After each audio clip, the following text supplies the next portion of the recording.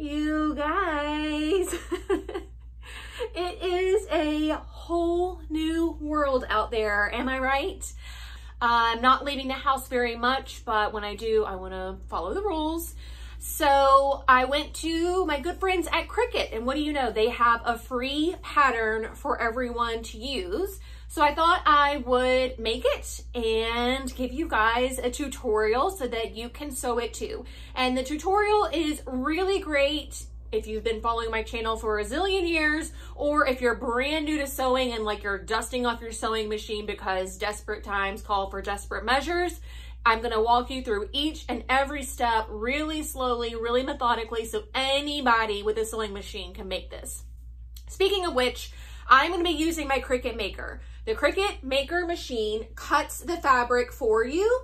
So the machine is gonna cut all of my pieces, but if you do not have a Cricut Maker, but you have an Explorer Air 2 or any of the previous um, cutting machines, you can use the same project file to cut out cardstock and then you will have a pattern piece. So that's kind of cool. And then if you don't have a Cricut or like at all, that's fine too. They have a downloadable pattern on their blog. And then finally, if you cannot sew, they also on their blog have a no sew option. So Cricut has really covered everybody with these um, blog posts and patterns and tutorials. So check the description box if you fall into any of those categories other than you have a sewing machine. If you do have a sewing machine, stick around because I'm going to be showing you step by step how to make a face mask. The face masks that I'm going to be teaching you how to make today are the contoured ones that go above your nose. You saw me wearing it earlier. Not pleated. They are the fitted kind. And these pull up to the top of the like nape of your head, one piece of elastic, and another piece of elastic is at the lower part of your neck. I find that that is far more taut and being held in place better than any of the ear loopy ones. So I kind of like how snug it is. It's still very breathable. I am using quilter's cotton for the main and then muslin for the lining because use what you have. And I have quarter inch elastic uh, that I used for the strappings. The elastic um, is adjustable. So once you get it sewn and let's say you're making it for some family members, you can bring it to them and have them try it on. And the elastic is all one piece. So they can just pull it and tie it in a knot and they will have an adjustable elastic band, which I think is really cool and something that kind of sets this apart from some of the other ones. Um, if you're making this for complete strangers, that's also kind of really great because they can make it work for themselves. So let's get to the tutorial and I'll show you just how easy it is to make one of these face masks using your Cricut. Okay, so the first thing that we are going to do is cut out our fabric according to the instructions. And for the large adult mat, they're going to have you cut one piece that's 16 by 8 and your lining piece that is 16 by 7. The dimensions for the small youth and the youth pattern are on their respective um, design space project pages and they have you cut it out where the length of the grain runs the long length of the mat. So just pay attention to that whenever you are making yours. Here's mine. You can see the lining fabric. Um, the length of the fabric is running the length of the mat.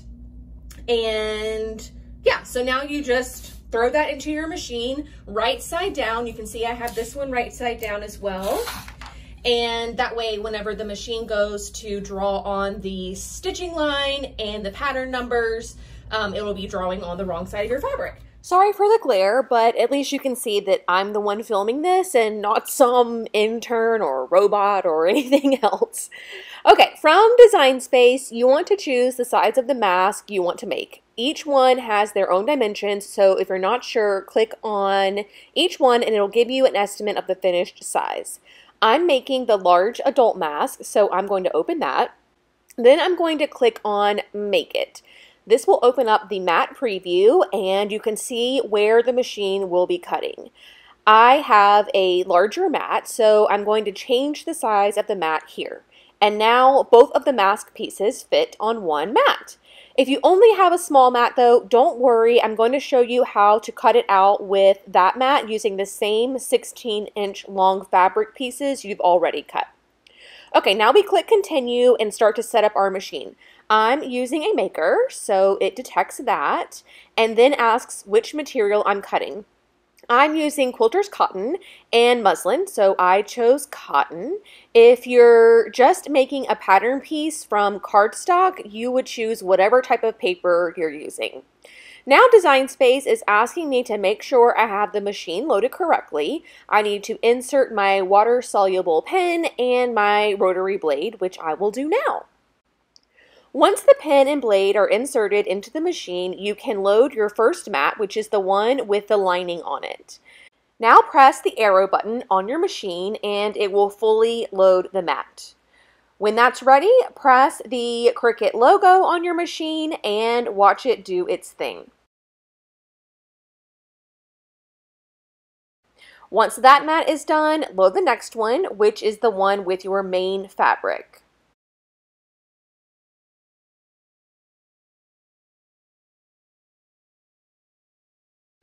Okay, if you don't have a 12 by 24 inch mat, that's okay. Just lay the fabric on your 12 by 12 mat with the extra length hanging off the edge. Load the mat into your machine and let it cut. Just make sure that you have the 12 by 12 mat selected in Design Space, which is the mat preview default anyways. Just don't change it to the 12 by 24 like I did earlier. Once it's done cutting that piece, peel your fabric away from the mat Turn the fabric 180 degrees and line it back up on the top left corner of the mat. Now it will cut the mirror image of the piece you just cut with the remainder of the fabric from the first cut. Make sense? You do the same process with the main fabric as well. But if you have a 24 inch long mat, use that because nothing is better than setting it, walking away, and coming back to cut out and marked pattern pieces. All right, everything is cut. Now let's sew this thing. And after all your cutting is done, this is what you end up with. You have uh, mirror images of a lining piece and you have mirror images of a main fabric. And you can see that the maker drew in your stitching line. So you don't even have to be that accurate of a sewist. You just follow the line. Um, and it also drew in what the lining pieces are gonna be. So now we can get to sewing. Your very first step is to place the two linings right side together, like this, where the drawing is on the outside of both of them. Line up this curved edge, and you're gonna sew along this edge. Same thing with the um, main fabric. Okay, and I'm using some contrasting threads that you guys can see exactly what's going on here. And then you're going to take these straight edges, you're gonna go to your iron and you're gonna press this to the wrong side on both sides of your liner. Okay, and this is what that looks like. For the uh, main fabric, the pretty fabric, we are going to press them in by that half an inch, just like we did for the liner. And then we're gonna press them in again to half an inch, like so. And there's actually already a line on your fabric for where that pressing line should be. So you're making a completely encased edge there where there's no raw edges. Like on this one, there's still raw edges on the outside, which we'll get to in a little bit. But for the main fabric, you are encasing the raw edges and also creating a casing for your elastic to feed through. So do that on both sides of the main fabric piece. Okay, now you're gonna go back to your sewing machine and we are going to stitch the, these all these edges down. So you're gonna stitch this one just sort of down the middle at 1 8th of an inch seam allowance will be fine. On this one, you wanna stitch really close to this inner pressed edge so that your elastic is gonna have enough space to feed through um, this little casing that you made. So do that on both of these. All right, now here's what we have. Completely encased um, raw edges on your main and then your raw edges turned under and stitched on your lining piece. So I need to go to the iron now and press this curved seam over to one side. And all right, there you have it. I just laid it flat on one side and then put the tip of my iron into here. That's how I was able to um, press it without using a ham or a towel or anything. But now we're gonna go to the machine and we are gonna stitch um, whatever way you pressed your fabric. Like I pressed mine to the left so I am going to top stitch all along this seam here on the left side of the seam so that it'll catch the raw edges that are underneath. So you need to do that on both fabrics. All right, so now we have that little bit of top stitching done and that again is just gonna keep that seam nice and sealed. All right, so now we wanna um, place these right sides together and facing the same direction. So you have, you know, the nose portion together and you should see raw seams on this side and raw seams on that side. That's how you know your right sides together. And we are going to stitch all along the uh, top seam, this one where your nose goes, and this one where your chin goes. The edge of your lining is not going to go to the edge of your fabric. So don't struggle to get it to fit. It should fit in nice and easily, and you should have a little bit extra of your main fabric hanging over. All right, and now I've got that completely attached along the top and the bottom, and the sides are completely open, and that is where we are going to turn this whole thing right sides out, like so, and then go to your iron, press this whole thing, and then top stitch along the top and the bottom to seal those nicely.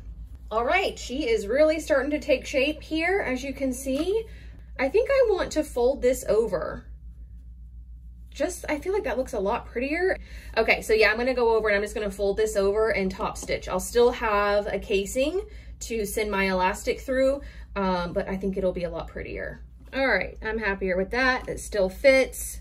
Um, you know, if you're making it for people that you know and you know they have like smaller faces, um, feel free to do that. Otherwise, I don't see if it would be bad that it does that um, or that it, you know, was open um, on the lining before I folded it over. Um, I just, I don't know. I just wanted it to be more aesthetically pleasing. Okay, so now that we have that, we need to start feeding some elastic. And this is when things get really customizable. Cricut is recommending 20 inches of elastic. So I'm gonna make that at first, and then we can adjust it based on fit afterwards. So cut one 20 inch piece of elastic, which is roughly right there. Perfect. And then you are going to take a safety pin, put it through one end of your elastic.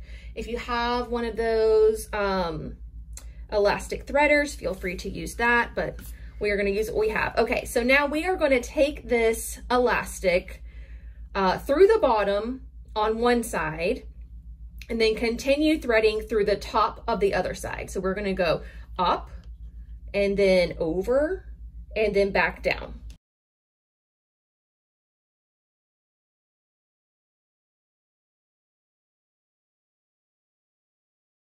Like so. And now you want to take it to your machine and ensuring that nothing is twisted and that it's all flat all along the insides, you are going to lay them on top of each other like this and then zigzag or stitch back and forth um, uh, to secure these two ends together, but you want to do them flat like this. You don't want to do them like this because then you'll have a lot of bulk. But if you do them flat on top of each other, just like this, um, it'll be nice and flat.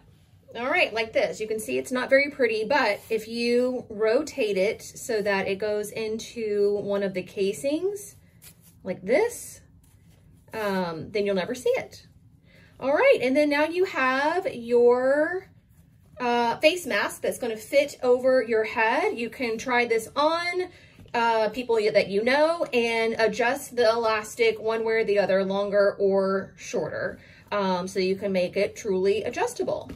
But there you have it. Quick and easy, pretty mask with the Cricut Maker. All right, you guys, so just like that, in a matter of minutes, you have your own custom face mask that you can wear and feel really good about going out and being safe and uh, not getting anybody else infected. And to boot, if you have cute fabric, the masks are cute too. So I want to thank everyone for watching. I hope you found this tutorial super helpful. If you have any questions about any of it, please leave them in the description box below. I will be back very soon cranking out the videos lately, giving you guys a place where you can come and escape all the madness um, has given me a whole new purpose to this channel and it's been really, really great. So thank y'all for keeping coming back and watching and I'll see you very soon. Bye.